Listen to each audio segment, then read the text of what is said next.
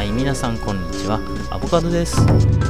今回は新しいアップデートを来てなんとめちゃめちゃいい設定を加えていただきましたのでその検証をしていこうと思います。よろしくお願いします。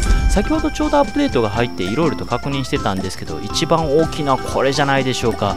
ズバリプライベートマッチの設定。自分も主催をするのでこれを細かく設定できるのは非常にありがたいです。ということで早速見ていきましょう。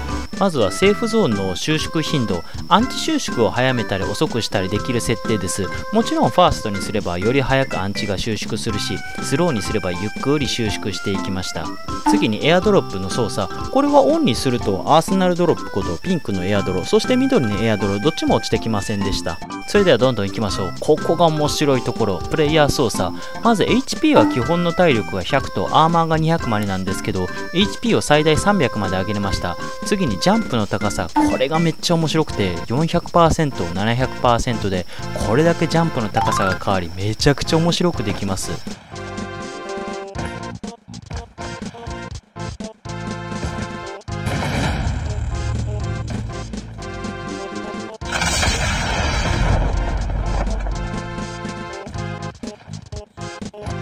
そして次はエネルギー回復率。これを 200%300% にするとスキルの溜まるスピードが速くなります。次はチームメイト回復。これはチームメイト回復が有効化にすると、えー、通常通りのタグになります。そして自動蘇生フライトにするとウォーフェアみたいに一定時間で戻ってこれます。最後に蘇生なしはその名の通り一度確定キルまで入れられるとゲームに復帰できなくなります。次にクラス。これはその名の通りオンオフで使えたり使えなくなったりします。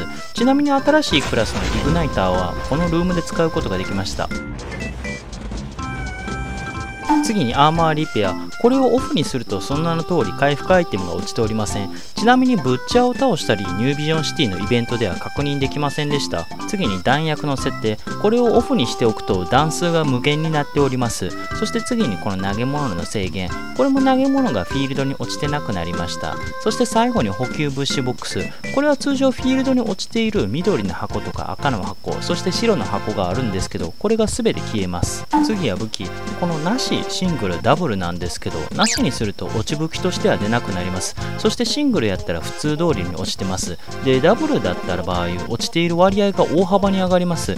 例えばアサルトをなしにしてショットガンをダブルにすると落ち武器では AR が落ちてなくそしてショットガンが結構落ちてます。ただ注意点としてはブラックマーケットの武器商人こと店長そして緑の箱アーセナルドロップからは武器をなしにしてても普通に出てきたんでプラベのルーム開く方は注意なさってください。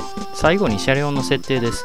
これも全て操作ができてフィールドには出現しなくなります。そしてブラックマーケットで ATB とか ORV が乗れるんですけど設定でオフにしておくとこれもこのように消えてしまいます。